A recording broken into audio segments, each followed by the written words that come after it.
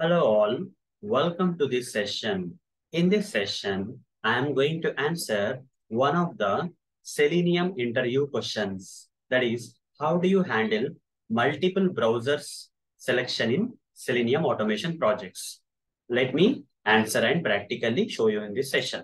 Okay. So we can programmatically handle this. Okay. We can write some kind of uh, logic using the programming language like Java, etc to select a particular browser. I'm going to show you that first. For that, I'll switch to this Eclipse IDE where we have this uh, demo class. Inside that, we have this main method. Inside this main method, I'm going to write some code, okay, using which we can select a browser. I'm going to write some programming logic in Java along with Selenium to select a browser. I'll say String browser name. Here, I'll give one browser name, say Chrome, okay, for sample. Now here, I'll start writing the logic. If browser name dot equals, you can use equals or equals ignore case. Okay. If you are not worried about the case, then the equivalent of this equals is equal ignore case, which is going to ignore the case, whether the C is in uppercase in Chrome, whether C is in uppercase or C is in lowercase, doesn't matter. Okay. So better than this equals, I feel equals ignore case we can choose. Okay. And here I can say if it is uh, equals ignores case Chrome, then I'll write down WebDriver driver is equal to new Chrome driver like this. Okay. For the mouse, if this browser name is specified as Chrome, then we are going to write the statement like this. Okay. WebDriver driver is called new Chrome driver. For the mouse on WebDriver and import it from Selenium. Even for the mouse on Chrome driver and import it from Selenium. That's it. Now, else if this particular browser name dot equals ignore case, okay? It is equals ignore case, if it is Firefox, then what is the line you have to write? WebDriver driver is equal to new Firefox driver. Like this we have to write. Now over the mouse and import this Firefox driver class from Selenium library. Finally, else if browser name dot equals ignore case, if it is edge, then I'll be writing WebDriver driver is equal to new edge driver. Okay, like this I'll write. For the mouse on uh, edge driver and import it from Selenium library. That's it. Now WebDriver driver is called new Chrome driver, WebDriver driver is called new Firefox driver, WebDriver driver is called new Edge driver. Okay. These three browsers, you can write as many number of uh, for every browser you can write down. Okay. For example, I am writing for three browsers. Okay. For selecting any of this browser from these three browsers. Fine.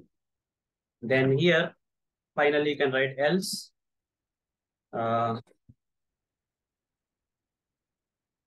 provide a valid browser. Okay. Browser name. If if uh, any other browser apart from this Chrome, Firefox, Edge is provided, then in this case, we'll provide, we'll print this statement into the output. Okay. We'll not run any automation script. Rather, this statement will be printed. Fine. All, all good so far. Okay, now what I'm going to do here is uh, I'm going to take this driver and write down driver dot manage. I'm not getting it because this driver is not global. You see, this driver is declared locally inside this if block. This driver is locally declared in this LC block. This driver is uh, declared locally in this LC block. So how to make it global? To make it global, just uh, copy this and take it outside like this. And remove the double declaration here. Don't declare it inside declare only it outside. Okay. Like this. WebDriver driver, driver driver is called new Chrome driver, driver is called new Firefox driver, driver is called new Edge driver. Okay. Like this. Now we can access this driver externally outside the if blocks. Driver dot manage dot window dot maximize. Then driver dot get. Here give the application URL. Again, some error is coming because we have to initialize this. Uh, here we have to say driver is equal to null or something. Okay, then it will be gone. Now here, give the application URL that you want to open. Here, give your dot one sample application I'll take. Copy this URL and uh, paste it here. That's it. Okay, paste it here. So let's see when, in which browser this application will get opened. Okay, when the browser is mentioned as your browser name is mentioned as Chrome. In this case, the Chrome is equal to Chrome. This if block got satisfied. So Chrome browser will launch and uh, that Chrome browser will get maximized and application URL will get opened in that Chrome browser. Okay. So run this code and see what's happening. It will open the application in the Chrome browser. Okay. It will open the application in the Chrome browser. So this is the programming logic that I'm talking about if else if else if kind of thing. Okay. So whatever the browser name you provide here, pass here, the, in that browser only the scripts uh, the scripts will run. You see, uh, the since Chrome is mentioned uh, in the Chrome browser, the application got launched. Now, what if I change this Chrome value to Firefox? In this case, what will happen? Firefox equals Ignor's case Chrome not matching, so it will go to the else if. Firefox equals Ignor's case Firefox, it's matching, so it will open the Firefox browser and maximize. Something like that. Okay, let's run this, and this time Firefox browser will launch. The script will run in the Firefox browser. Okay, whatever the browser you store into this browser name, in that browser only the script will run.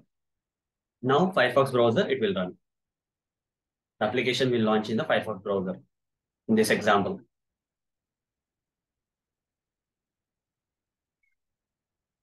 You see, the Firefox browser, the application got launched. Okay, done. If you give Edge, it will launch in the Edge browser. If you give Edge, finally, if you give Edge, uh, it will launch in the Edge browser. Okay, right click run as Java application. The script will run in the Edge browser.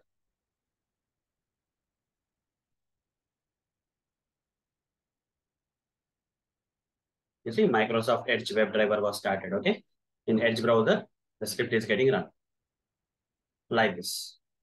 Okay, so this is the programming logic I am talking about here.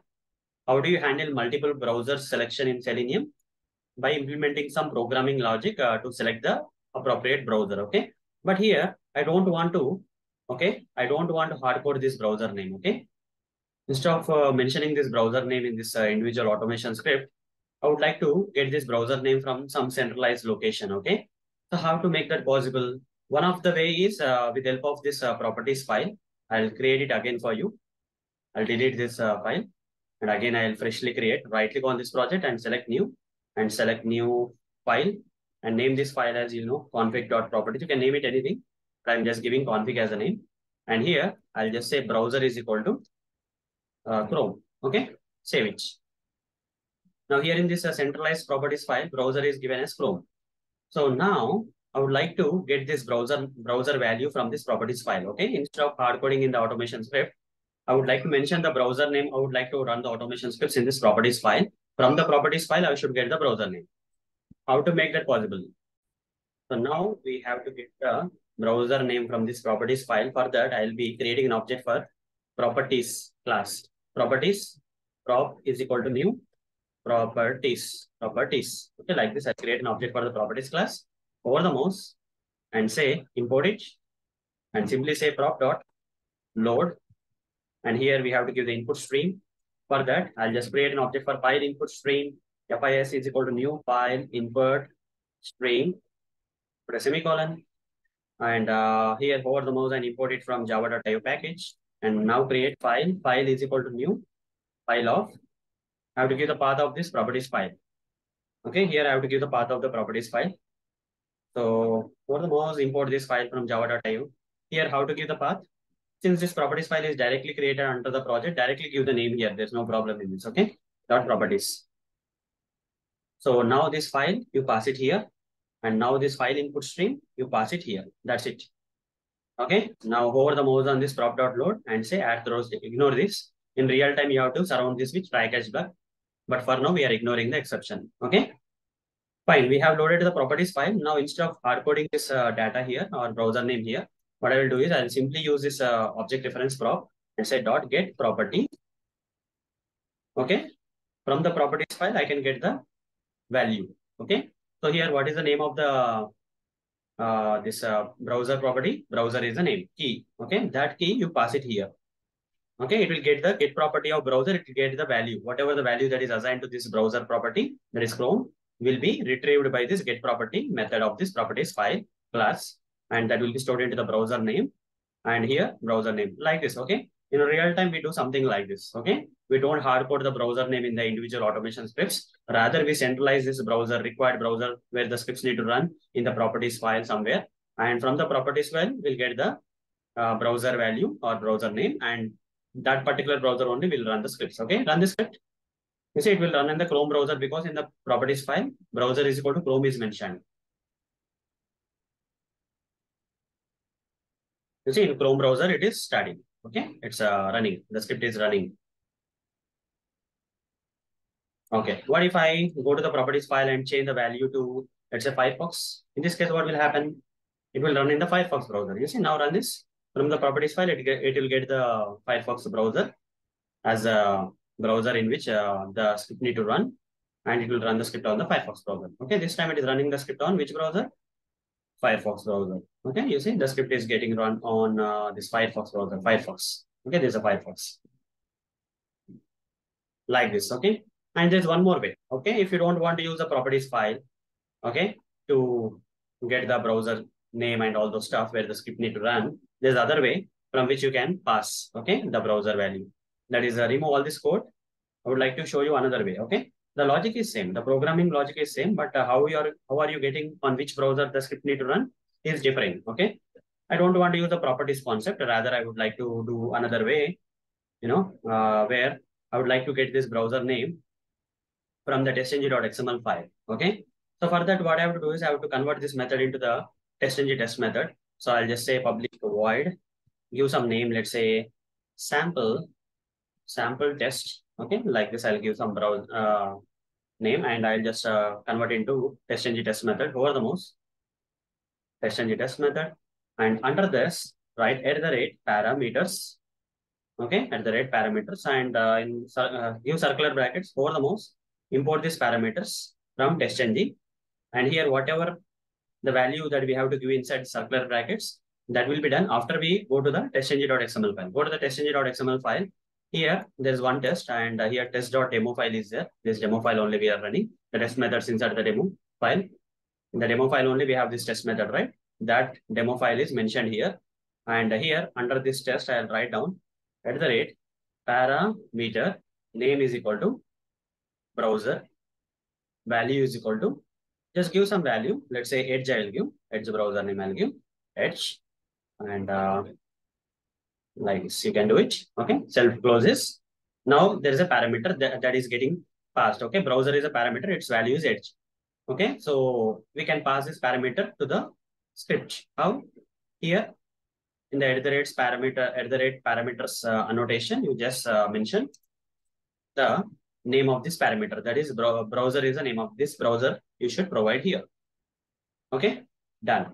Now just create a parameter here, say string b or something, and uh, pass this b here. Pass this, assign this b to the browser name, and whatever the parameter value we got from this testng.xml file, okay, from the testng.xml file, if you get Edge, the script will run on which browser? Edge browser only. Save this and run the code. This time the script should run on Edge browser. There are two ways, okay? There are different ways. One of the way is to retrieve that browser name from the properties file. There's a problem here. Okay, we have to run the script uh, from the testng because uh, this will not be identified if you directly run from here. You cannot run right click run as you, you cannot, it will not work out. Okay, you have to run the testng.xml file, which will invoke the test method inside the demo file. Okay, so it's better to run the testng.xml file rather than directly running the demo.java file. Okay. When you are passing the parameter value from the testng.xml file, better to run the scripts using the testng.xml file only. Okay. You see, in the Edge browser, the scripts are running. Script is, script is running. So these are the different ways, uh, you know, we can uh, select a browser or hand, handle selection, uh, selection of browser from the multiple browsers available. Okay. First of all, the main thing is this program. Okay. The programming logic that you have written here. So whatever the browser that is uh, either hard coded here or read from the properties file or has been read from the testng.xml file, will be compared here and in that in that uh, browser only the scripts will run okay because of this logic. So hope guys you, you got the answer for this question that is how do you handle multiple browser selection in selenium? So that's all for this session. Thank you. Bye bye